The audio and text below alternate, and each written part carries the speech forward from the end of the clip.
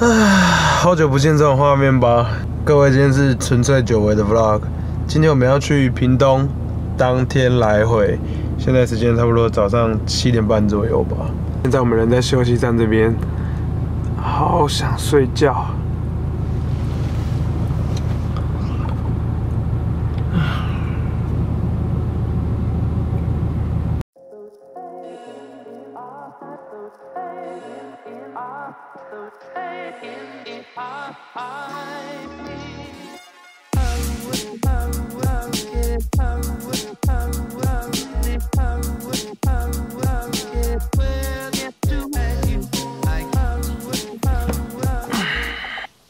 今天有没有发的影片呢？是每个礼拜五的胸长开箱子。不过这个礼拜真的要暂停一次。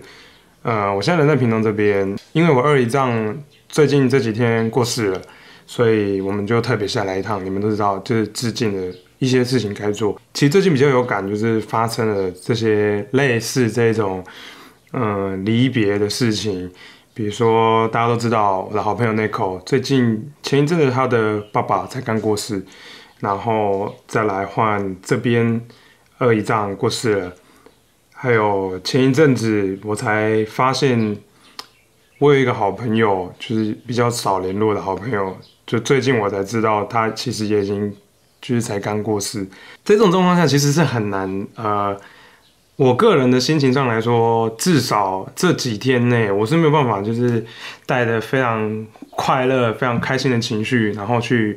拍一些就是平常你们可能看到的很开心的 vlog，或者是胸膛开箱子之类的，总是要花些时间让我的心情沉淀一下。因为我最近老是在想一些事情，尤其是在从去年我正式到三十岁的时候，我就在想说，年龄到底代表了什么意思？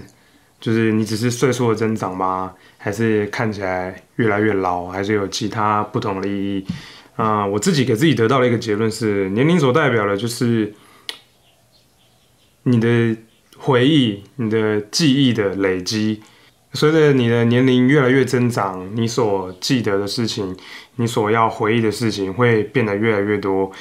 不论是好的事情还是不好的事情，尤其是当身边有人陆续的离开，那这些事情会随着你的年纪慢慢的增长。你会累积的越来越多，越来越多，慢慢的从第一次遇到这个状况到后来，你会开始学着去怎么适应这个状况，怎么去调试你的心情，去面对这些东西，甚至是呃走过这些事情，让这些事情就成为过去，你就这样走过去。我想这就是年龄成长，就是当我们年纪越来越大之后。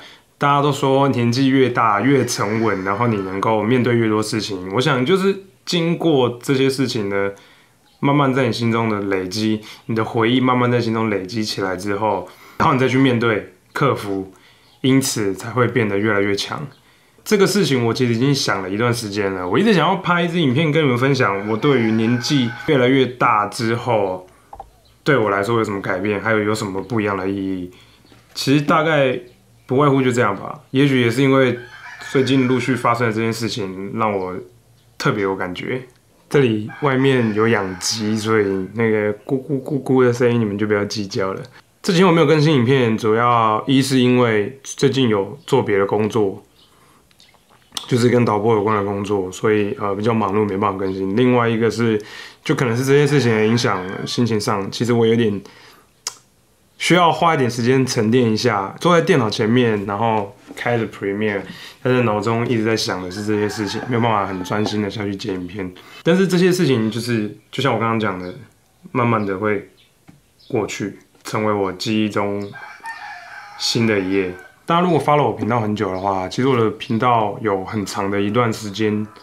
去年吧，将近一整年时间，其实每天都在更新的是我的生活记录的 vlog。这阵子晚上就稍微去点一些以前的影片，然后就觉得，哎，其实还蛮意外的，就是用这种方式，我把我的生活、我身边的朋友点点滴滴，用这个方式间接的记录了下来。每过一段时间，我回去看以前的 vlog，我都有这种感觉。原来我过去，我有我把我之前的生活好好的记录下来了。当然不可能全部啦，全部一支影片可能就是超级长。但是现在想想，我觉得 vlog 真是一个好东西。也许哪天我想回忆一些什么事情的时候，看 vlog 回忆的更快。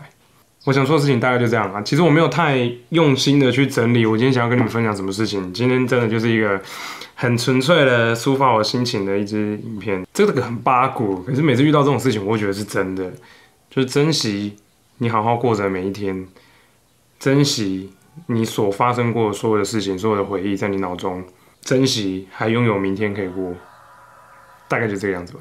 今天是礼拜五，呃，熊掌开箱子，如果没意外的话，我希望能够在下周三的时候补给你们，然后礼拜五同样再上一支熊掌开箱子，这是预预计，好吧？因为我每次都期期望我能够在什么时候发什么影片，但是大部分都没办法符合。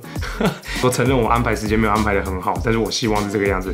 然后从明天开始就是礼拜六，礼拜六到下个礼拜二。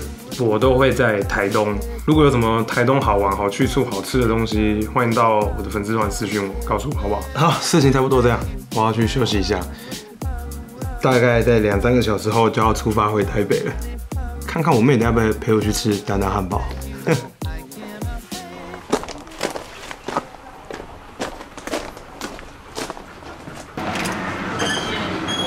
喵喵，喵喵。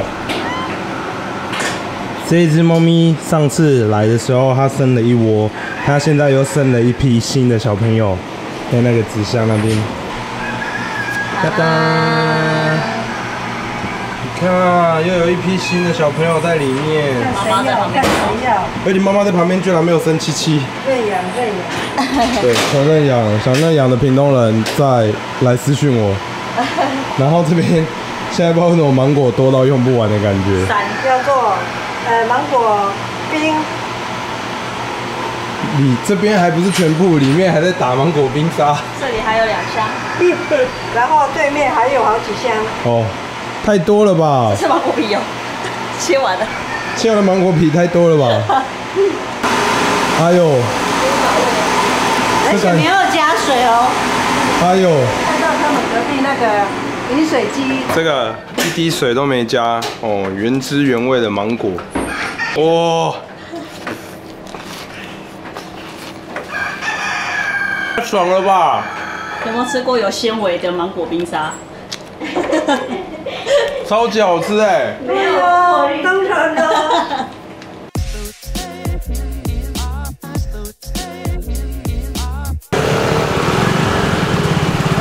我已经很久没有吃丹丹了，我决定回台北之前买个丹丹在车上吃哈。我来看一下，哎，丹丹还是一样超便宜的感觉。我要我要这个，七号。对，我要这个，就这样。饮料，呃，饮料茶类的吧。红茶吧。啊，对，随便你，交给你了。